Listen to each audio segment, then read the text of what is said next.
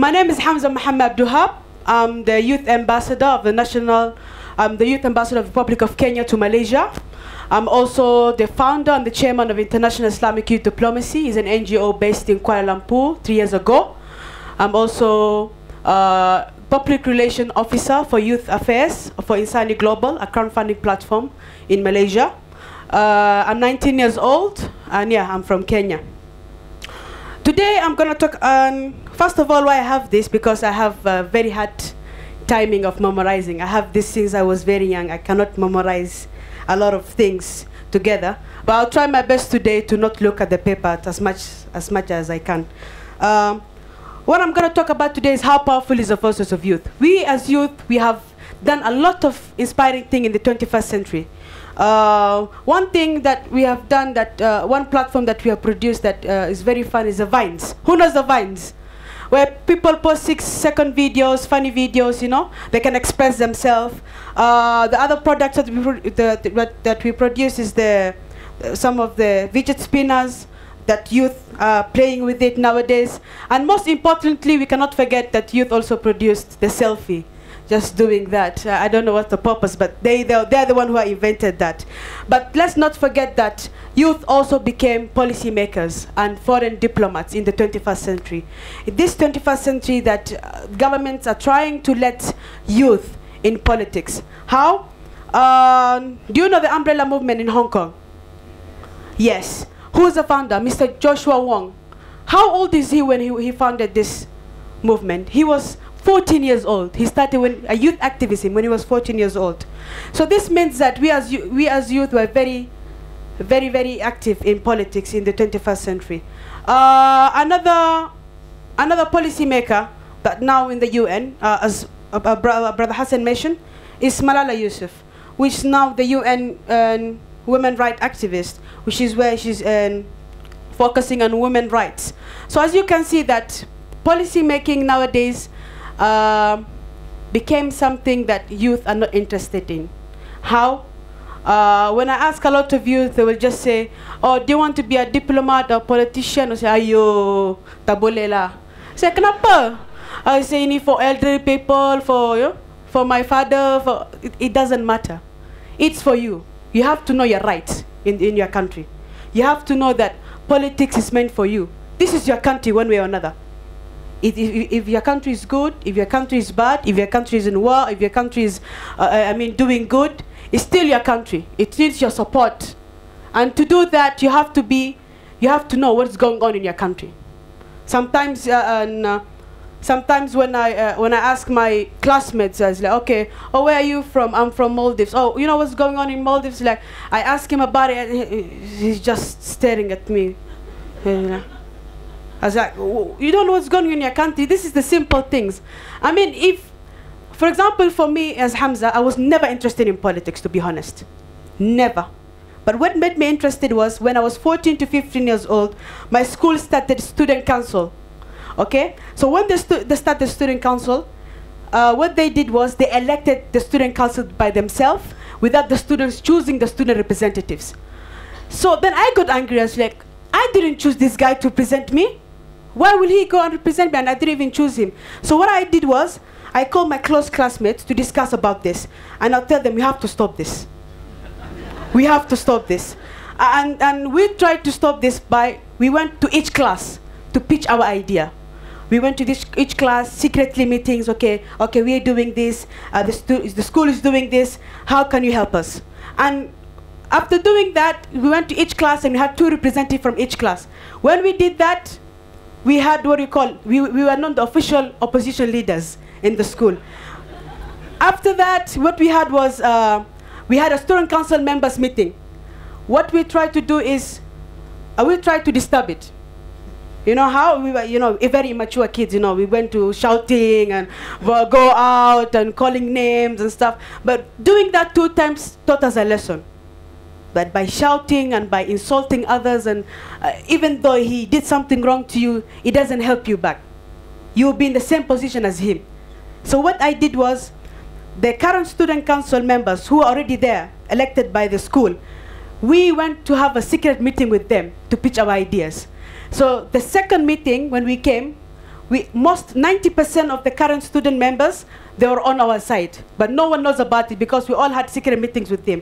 So what i did was uh, i stood up i told them okay we, we had enough. I think it's time for us to speak up. I would like the current student members to stand up if they don't agree with the school what they're doing. 90% of them stood up. Then the school had the school you know they, they saw they were shocked. It was like oh my god they, we chose them and now they're coming against us. So when they saw that the pre- president of the current uh, student council went down and we elected someone to go in for a few time until we had official elections going on. So this made me interested in politics. And then from that day on, what motivated me was I wanted to establish an organization uh, where I can motivate, or we as youth can motivate each other in helping in, in our countries. So this organization was funded by me and my friends my four other friends from Malaysia, from the US and Canada. We were studying in international school. So all the executive member for the first two years were all my classmates. We having all classmates and then when we went to register our NGO in the Ministry of Home Affairs, we were all one classmate. We went after our class, uh, our school is in Putrajaya and the office is next door. So we went from school, we have school uniform in the Ministry of Home Affairs, standing with our papers. We want to register an NGO. And uh, I mean, this is hectic. We were just 15 years old kid running around with a bun bunch of papers and to want to register an NGO. It's useless as you think. And that's what they thought. So I went to my school to ask for support. I told them, we need your support. We need financial support. We need even mentors. And they said, a bunch of youth like you guys, you think you can run this idea and you can execute these ideas? They told us we don't think so. So every time I hear critics, every time I hear people saying, you know, negative things about, about me or about what I do, I take that for challenge. I try to challenge him. Never be afraid. Let him say whatever he wants to say, but you must show him his line.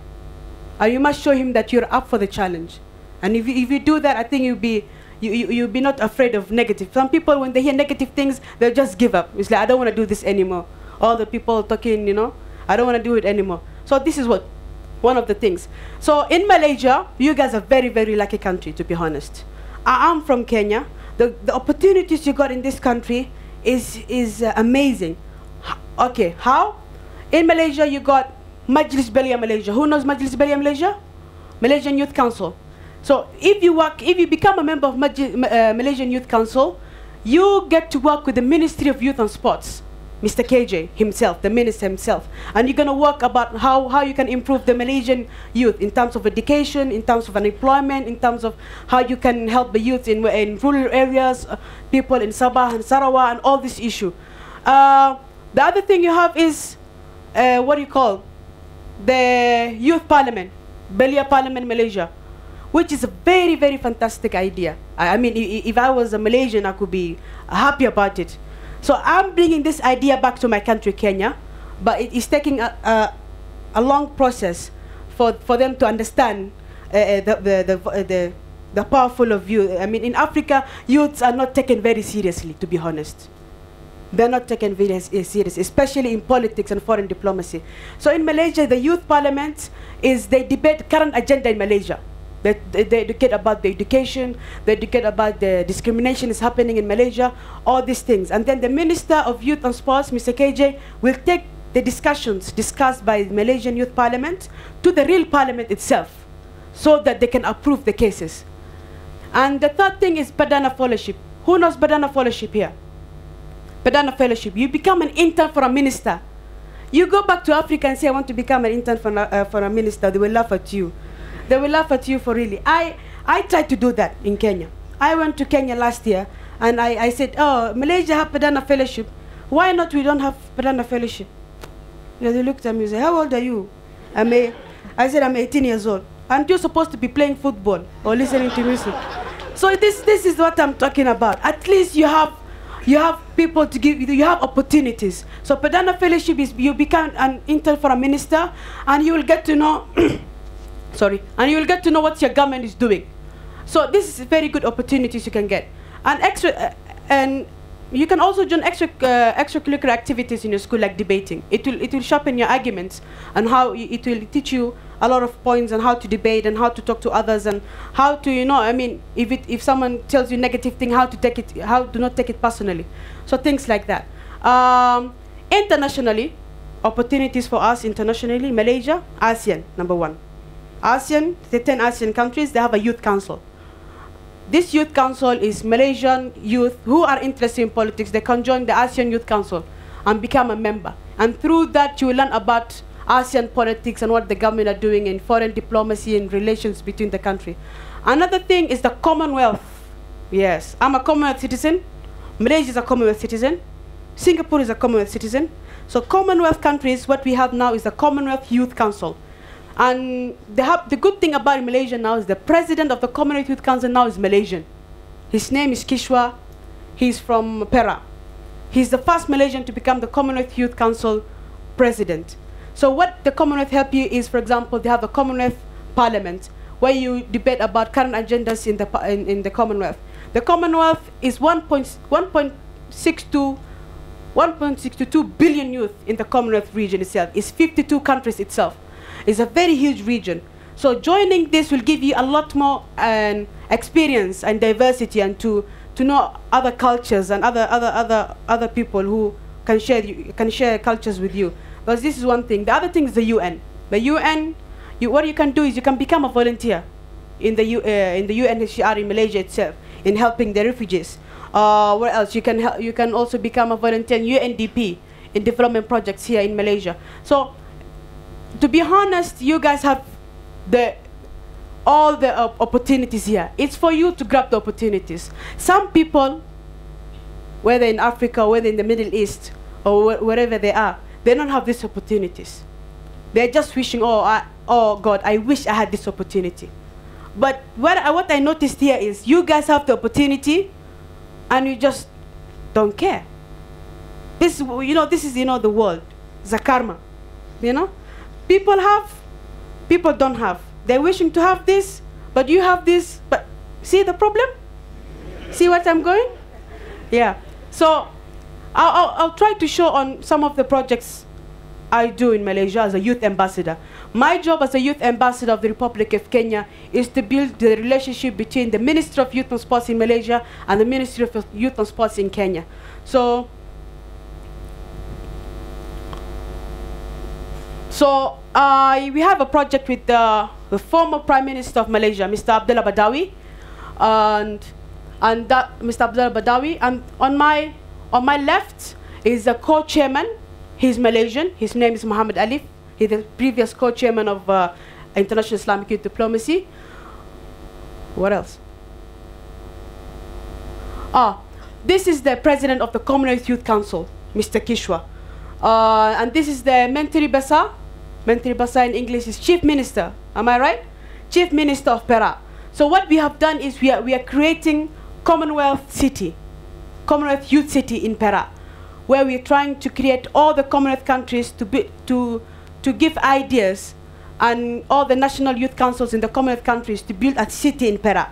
So this city will host all the Commonwealth countries uh, in terms of sports, in terms of uh, uh, cultural activities. Perak will be the hub, hu- will be the main city for that. So this is the chief minister. He's going to help us on that issue. Uh,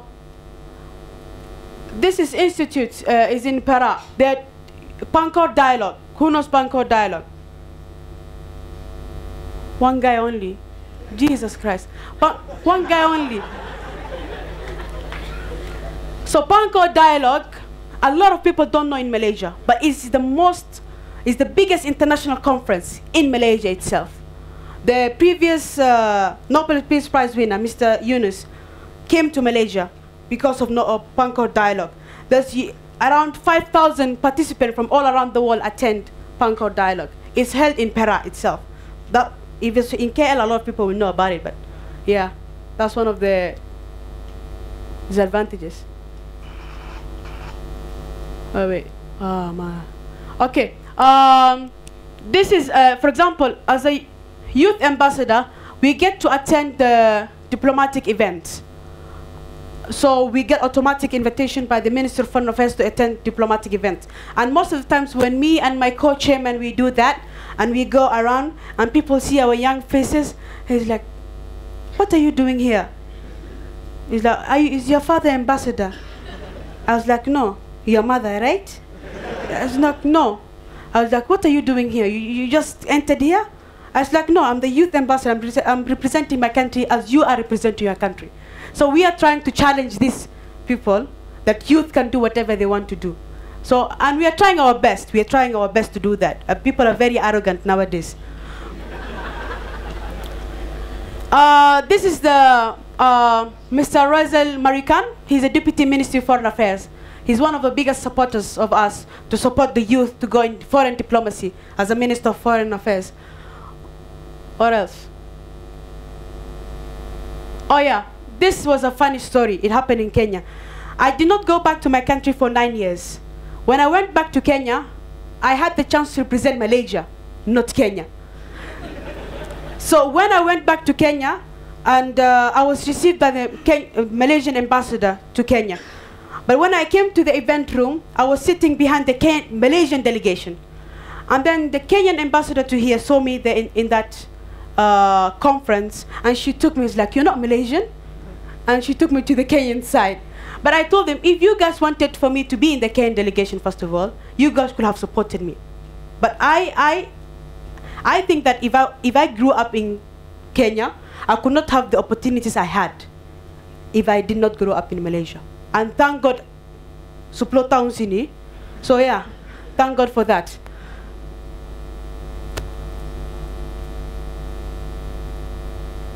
Okay. One more. I think that's it, right? Oh yeah. It's working. Uh, this is Mr. Ahmed Zahidi. He is a patron for the Commonwealth Youth Council in Malaysia. He is the one pushing the Commonwealth Youth Council to be recognized. Um, good news, on 3rd to 5th of November, we're expecting Prince Charles to be here in Malaysia to officiate the Commonwealth Youth Summit, the first Commonwealth Youth Summit that's going to happen uh, in the world. So, as you can see that we are trying our best for the Commonwealth Head of States to, to notice that we are doing something for the community itself. And lastly, yes, Dato Sri Najib, huh? Yes, Dato Sri Najib. I, I mean, I mean, Dato Sri Najib is when he sees uh, foreign students representing their countries, he's very big support of that. I mean, he just walks sometimes when my coach, my coach him is Malaysian. So sometimes he walks and he sees one African guy in the middle, he just, dari mana? Where are you from? Was like, Kenya. Oh, cakap Melayu. Was like, so you, you see my point, yes? You see, you see my point. I mean, i- when you live in a country, you have to know how to speak their language. I think Brother Mubarak, we have to learn something, something from him on how, when you live in a country, the best way to interact with the locals is you speak their language. Or else, you know, you, you- have no interaction with them. You just come and sit down, stare at each other, and you're in the same class. But if you approach them in their language and, you know, mingle with them, I think things can change. So that's it for me. Thank you very much, everyone.